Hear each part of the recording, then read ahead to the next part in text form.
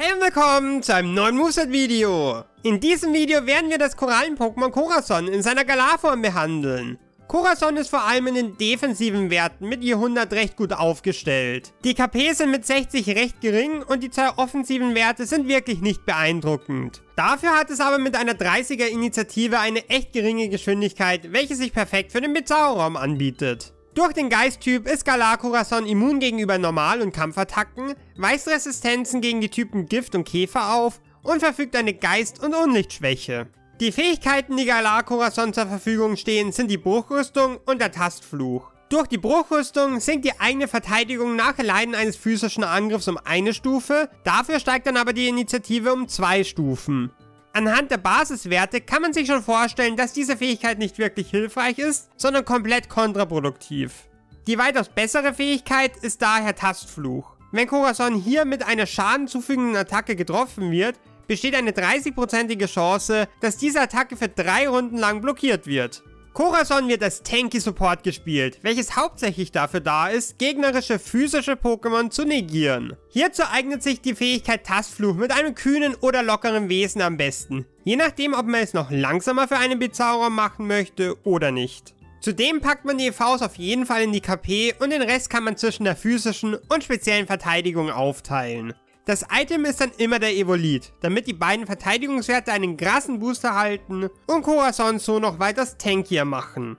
Eine der wichtigsten Attacken für Corazon ist der Kraftabsorber, mit welcher es die eigenen KP um den Angriffswert des Zieles regeneriert und dessen Angriff um eine Stufe senkt. Neben dem Kraftabsorber besitzt Corazon aber noch eine zweite Attacke, die sehr gut gegen physische Pokémon ist, nämlich das Irrlicht. Da diese Attacken sich hervorragend zum Stallen anbieten, aber nicht wirklich viel Schaden verursachen, nimmt man hier noch den Nachtnebel mit, welcher immer 50 Schaden zufügen wird. Hiermit sind dann auch die schlechten Angriffswerte von Corazon egal. Als letzte Attacke nimmt man meistens den Dunkelnebel mit, um negative Statuswertveränderungen von Team-Pokémon oder erhöhte Statuswerte von gegnerischen Pokémon zurückzusetzen. Hier muss man nur darauf aufpassen, dass man nicht den durch Kraftabsorber gesenkten Angriffswert wieder auf den Anfangswert zurücksetzt. Das sind die mit Abstand gängigsten Attacken, aber man könnte den Dunkelnebel bzw. das Irrlicht für den Reflektor und oder das Lichtschild austauschen. Das Schutzschild wäre auch eine Option, wobei man hier meistens mehr Nutzen durch eine weitere Statusattacke ziehen wird. Zu den Countern und Checks gehören vor allem Pokémon, die Verhöhner einsetzen können. Durch den Verhöhner wird Corazon nur noch den Nachtnebel einsetzen können, welche ohne die Statusattacken ziemlich unbeeindruckend wirkt. Pokémon wie Olangar, Elfun oder auch Fuego eignen sich hierfür bestens. Eine andere Wahl zum Countern wären spezielle Pokémon. Allen voran Pokémon, die Unlicht- oder Geistattacken nutzen. Die besten Beispiele hierfür wären Galar Lavados, Phantoros oder auch Katapultra, welche nicht vom Irrlicht und vom Kraftabsorber negativ beeinflusst werden.